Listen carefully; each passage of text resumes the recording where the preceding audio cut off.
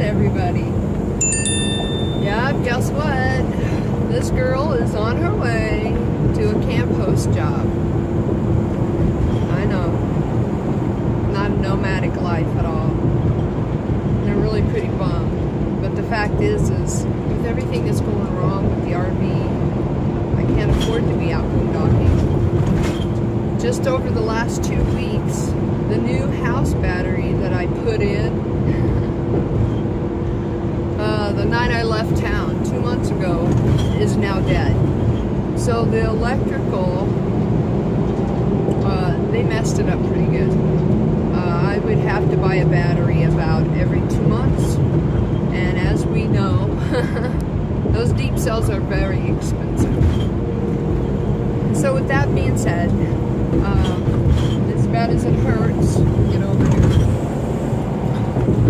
As bad as it hurts, um, I did receive two job offers.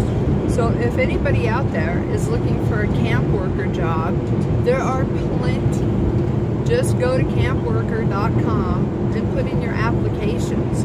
I got two jobs in one day, and they're across the street from each other, and they're RV resorts. Um, the job lasts through April 1st, and I sit in a booth a security booth and let traffic in. Yeah, right? Ooh, hurt me. Uh, I only have to work 16 hours a week. Uh, that's a perfect job for someone who's disabled because I am physically disabled.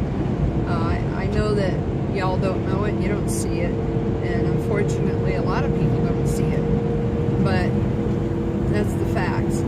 Um, so right now, I'm kind of taking my life in my hands again, uh, driving this way out to a place called, oh, I guess I should tell you where I'm at. Yeah, I heard that rule. But anyhow, I'm 35, I have to travel 35 more miles uh, than I did just to get down to the city that I'm in. I'm in Phoenix, a place I grew up. And uh, it's crazy here. the Traffic is crazy, man. Uh, but the fact is, is that uh, for right now, nomadic life is uh, kind of off the table. Will I stop making videos? Hell no.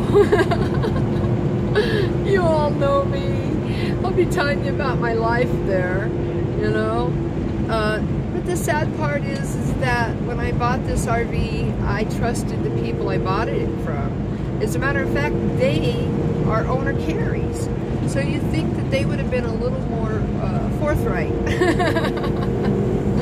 about the issues with this RV. Um, I have put so much money in it already, not including, not including the $465 a month payments I make on her every month. So I did, I did secure another RV. Uh, way old though, it was a 1982 uh, Class A, 34 feet.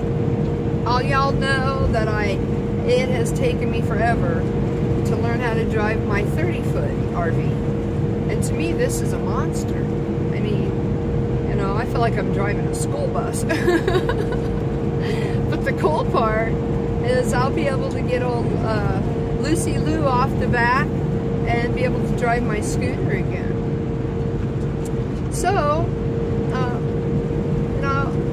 I guess I'm a little sad. Um, it's not the end of my nomadic life.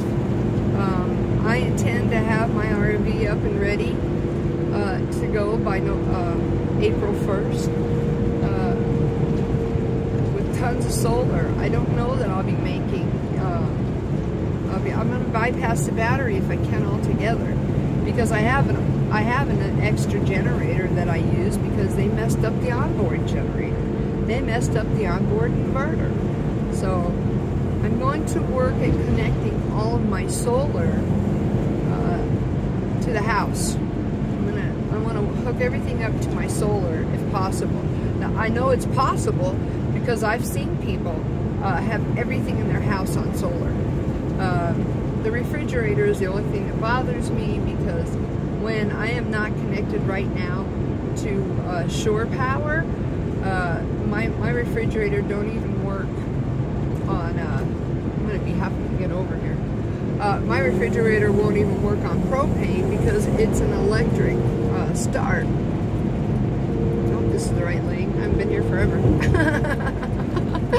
Just saying. So anyhow, um, I am in Arizona. My camp job is in Arizona. I would have liked it to have been closer to Ehrenberg. Uh, I am closer to Ehrenberg than Phoenix, but not as close as I wanted to be. Um, but I do, like I was saying, I do intend on making everything in my house solar. And I will have the money to do that. The camp job, my, my space rent, my um, electric, sewer, water, trash, Wi-Fi, laundry, for 16 hours a week is paid for. And it's a resort. It's not a, uh, a, uh, traffic's crazy, man. And it's like 10 o'clock here. Um, it's, it's not like an RV park, you know. It's an RV resort. Uh, these, these places rent for 800 a month. I know, right? not. not. uh, so anyway, I, I, am I'm, I'm not going to stay on long today, but I want you all to be safe. I know that there are riots planned for tomorrow, and if you're smart, you will take all your money out of the bank. Because uh, I just, you know, like the government to shut down our banking accounts. That being said, uh, you're all in my prayers and my thoughts. Stay out of the big cities. Uh, this this uh, little group of terrorists um, have uh, actually advertised where they're attacking. And uh, they're talking about killing. And it's really a frightening time for the United States. And one of the big reasons that I became a nomad. Just saying, I didn't want to be in the middle of the crazy. And now I'm in the middle of the crazy. oh, Lord. How sad, right? So, anyway, you guys are in my thoughts. You're in my prayers. Keep me in your prayers because not only do I have to go uh, all the way out here today and all the way back to where I was hooked up at my friend's house, but then I got to go all the way back out uh, to start my job. Uh, so that's probably an extra, I don't know, 150 miles on my rig on a tire that I don't know if it's gonna, a wheel that I don't know if it's gonna fall off. Uh, that's just fright, it frightens me to death. Um, I did make it down from Cottonwood. Uh, what the hell's going on up here?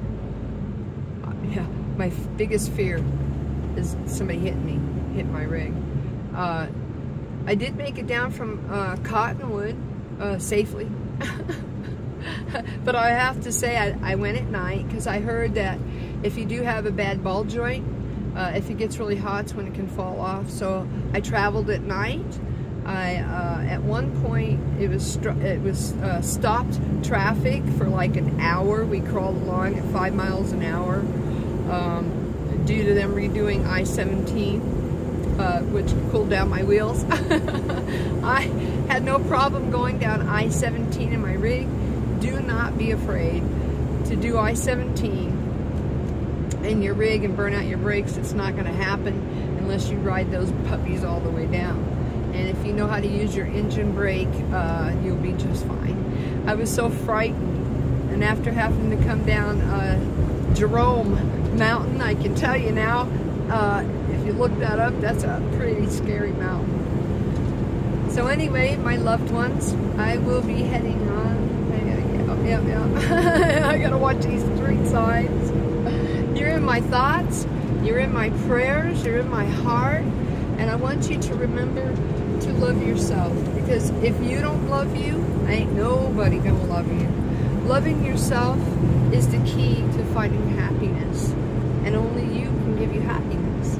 So don't go away, don't stop coming. Remember to subscribe, like, and share. You guys are in my hearts and my prayers. And, uh, damn. Yeah. I really love being a nomad. Maybe this is just a part of it. Bye bye.